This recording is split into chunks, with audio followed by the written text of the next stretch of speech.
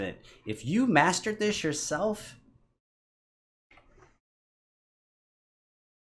that's that's really really impressive.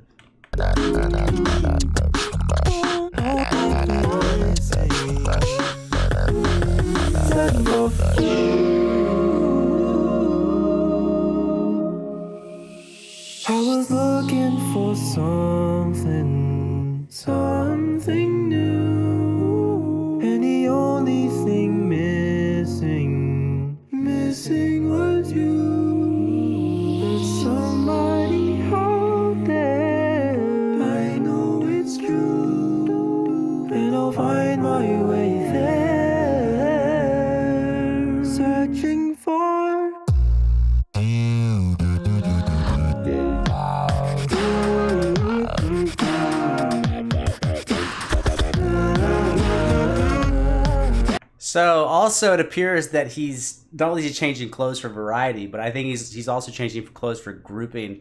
So I feel like even the instruments are grouped by his attire, which is which is not only you know clever for how it looks, but it's really helpful for when you're editing. If you know that when you're wearing a certain shirt, you're doing a certain job. So I feel like we've got this higher thing going on with the white shirts, um, and I feel like with the hats and with the covering, we're kind of more in the drum and bass zone. And sorry, black shirts and purple shirts. I don't. I don't remember.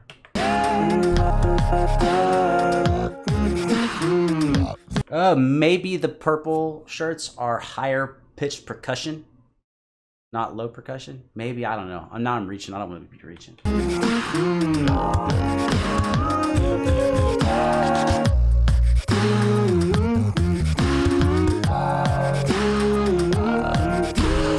Yeah, I do believe that. I'm not sure if my delineation is correct, but I think he's using the hat and the hoodie and the purple shirt to be differences in percussion and bass.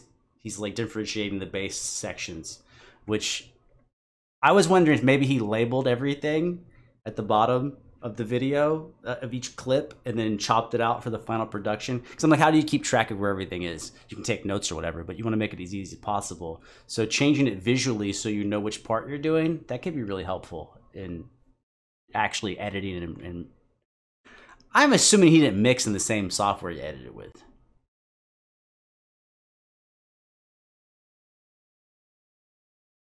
Huh.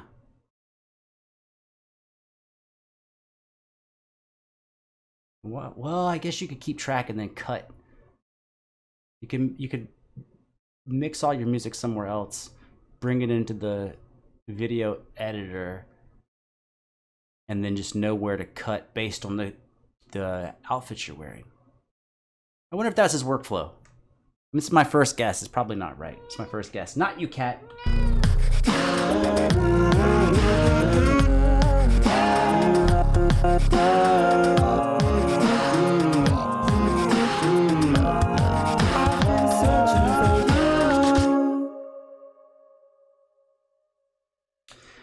I said it earlier, I'll say it one more time. I'm not even sure if I like that song.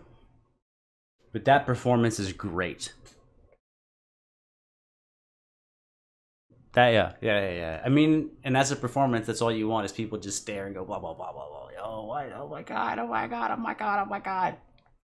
Um, I think the most commonplace I've experienced this is going to big, you know, symphonic things, you know, big orchestra, and you're there, and you're like, this is this is overwhelmingly amazing. It's just this gigantic sound coming at you.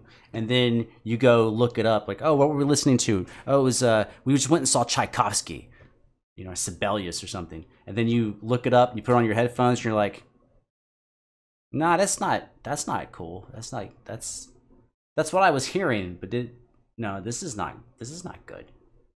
When you're when you're there, you're like, this is the shit. I feel like maybe this performance is like that. Like if I go listen to the actual song, I'll be like, I don't know. I don't know. Mixing, mastering, arrangement, execution, just fantastic.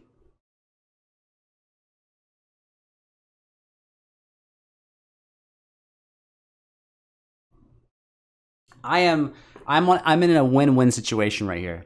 If it turns out he paid someone to mix and master, I would say that makes complete sense because that is a professional job and that's amazing. If it turns out he mixed and mastered it himself, then I have more hope for myself as someone who mixes at home and going, well, shit, if he can sound that good uh, and he's not a pro, then I could, maybe I could do that.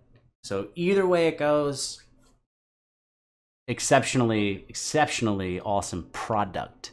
Not just performance, but the entire output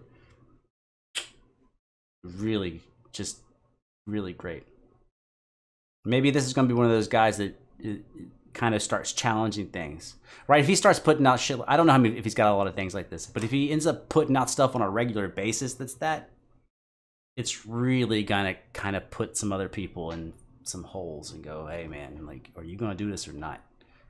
If he ends up with 15, 20 videos like that in a pretty short time span, where's my hands at? in a pretty, pretty short time span, that'll really put the pressure on people. You do it once or so occasionally, then people are like, yeah, that was crazy dope, but thank God he's not doing it all the time.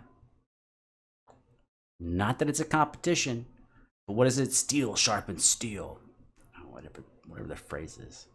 So when people in your craft start doing amazing things regularly, like every week they're doing something, you're like, come on every week you go and do it every week, then you're kind of forced to up your game or change your game. Very, very wicked. Not as wicked as my cat being a complete fucking terrorist over here.